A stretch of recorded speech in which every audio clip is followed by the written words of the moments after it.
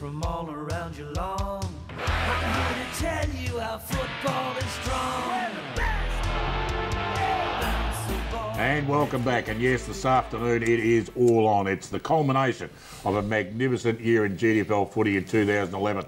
It is the grand final and it is right out at St Albans Park.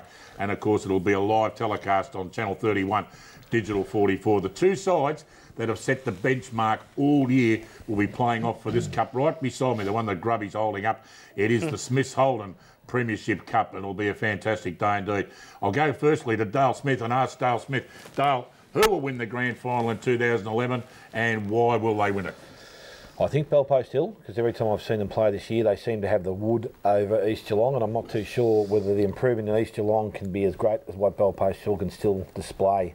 Um, they're a pretty good balanced side. They're a side that, uh, from the whole time that I've seen them for the last two years, they haven't changed their game plan. I don't think once. They never panic when they're behind, and they seem to be able to find themselves and get themselves out of trouble if they do get in there. And as I said, it's done now with uh, you know a multi-pronged attack. They've got um, Gergic up front, Jovanovic up front. Tar's now coming to the side and he's kicking goals for them. So they've got three tools. Obviously, the conditions might play a little bit against if it, the wind and the rain continues. Uh, but then they've got the crumbing forwards. They've got Holzfine, they've got Tobin, and those sort of players that can get in there. And Caleb Bashley's another bloke that can kick some goals. So I think they're a better balanced side. I just think they've got a bit good, a good spread. Uh, their defence is holding up very, very well.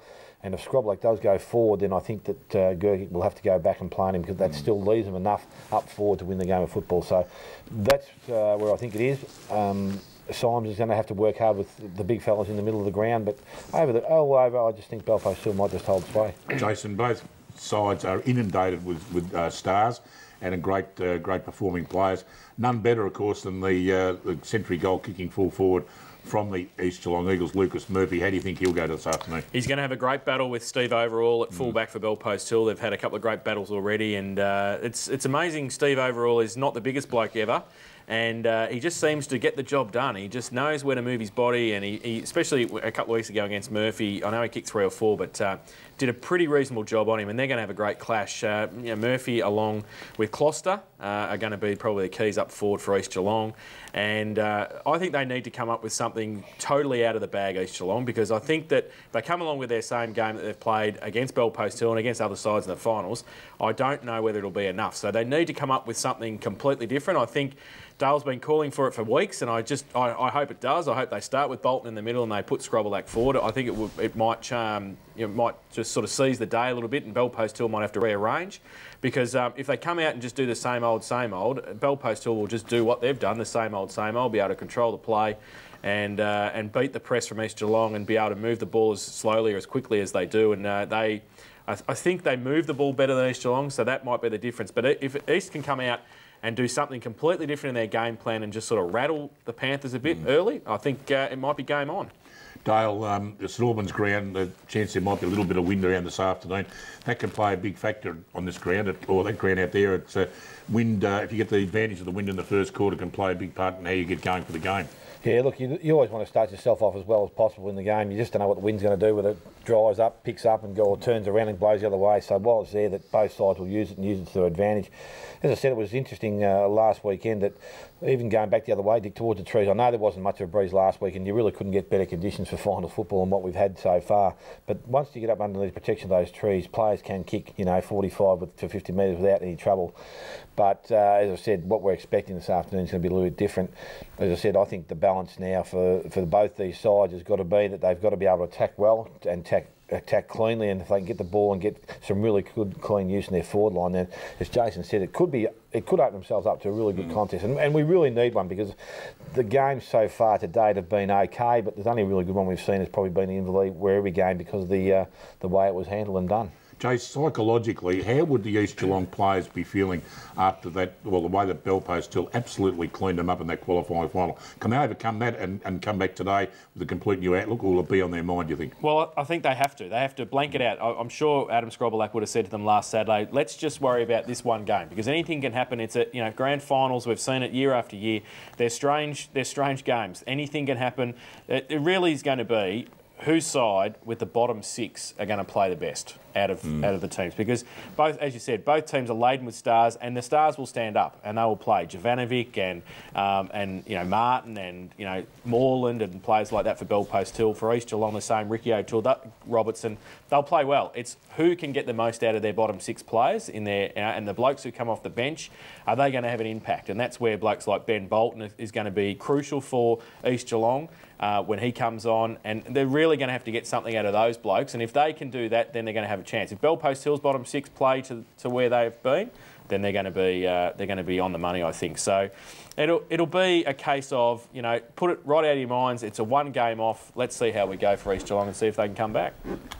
Dale, um, these two clubs obviously have dominated the uh, the competition the last couple of years. East Geelong winning it uh, two years ago, but a lot of it was tarnished by the tragic circumstances that followed from that game. And I guess a lot of people would say East Geelong are still owed a grand final win that they can celebrate properly this time. Yeah, look, at that'd be right, Dick. And as I said, that you've, you've hit the nail on the head there. And th- they're a quality side, and they've been able to keep this uh, group together for those last couple of years. And just to add two or three, they lost a couple of quality footballers last year, but they've brought in two or three more this year. Young Nolan, as I said, is only an under 18 kid, can still play, but he's got good size and pretty good balance. So he's been real handy for them. Connor's up forward, probably hasn't hit his straps firmly in the final series, but I reckon he's not too far away. And with Jason said, these both sides do use their benches fairly heavily. Um, I know Bellpost Hill are right into it. Inverleigh tried to do it last week, but probably not as much in the second half. But I think the use of their bench is going to be very important. As I said, it's uh, a long campaign, one for East Geelong, but Bellpost Hill may be a little bit fresh because they've had that game, had the week off, and now come back for a grand final. So it's uh, it's it'll be interesting to see during the week what uh, Brent Gergic did with his blokes to get them right for a grand final to keep their fitness and level up. Whereas Adam Scrobbelack, I reckon, might have just gone to a preservation mode and, and made sure that it was a light up week on the track and just trying to get those little sore spots a little bit, well, a little bit better than they're probably going to be if they had been able to have to put in a full training week. So Indeed. it'll be just uh, interesting to see how they both come out. And I reckon, it- look, it won't take long to work out where this game's going to go. I don't think. I reckon by quarter time the indications will be there. Um, and we just hope, as I said, I'm really hoping that we get the quality game that we've been looking for. And with one and two on the ladder at the end of the year, with one loss each, we're going to get it. It's going to get it. Yeah, we hope it's not a blowout early, so it'll be a fantastic afternoon indeed. And of course, don't forget, you can don't get out there this afternoon, and by crikey, you should get out there because it'll be an absolute ripper. But if you can't, and you're at the local pub or the club or down at Buckley's or you're at home, make sure you tune into Digital 44, Channel 31 for a magnificent live telecast of this fantastic game. Well, good luck this afternoon to you guys for the great call. And uh, once again, it's been a fantastic season. We've enjoyed your company, don't you worry about that. But thank you very much to the GDFL, Neville and the boys, and the lady, and the lady, of course, Margaret, for allowing us to put this show on. To Noel Fanning, the man who gets behind the screen and uh, tells us what to do, and absolutely is the ground, is the man who uh, looks after all Dale Burns himself with the sparklers. to have, our magnificent floor manager, Brian Cogsy Conklin, for the great job that he does, and Cal Lowther for the interviews he does throughout the season. Well, it's goodbye from me today, and I tell you what, there's Smitty going to burn the set down. We've enjoyed your company all year. We look forward to your company again in 2012. So it's goodbye from Jason, Hello, bye bye. and it's goodbye from Dale, who's got the sparklers going 100 miles an hour there. Dick, with Dick's breakfast. And yeah, thank you very much. He's stuck out of me dim sims. And of course, it's goodbye from me. Have a fantastic Christmas. See you all again in 2012. Good luck to the Panthers and the Eagles this afternoon. Bye for now. strong.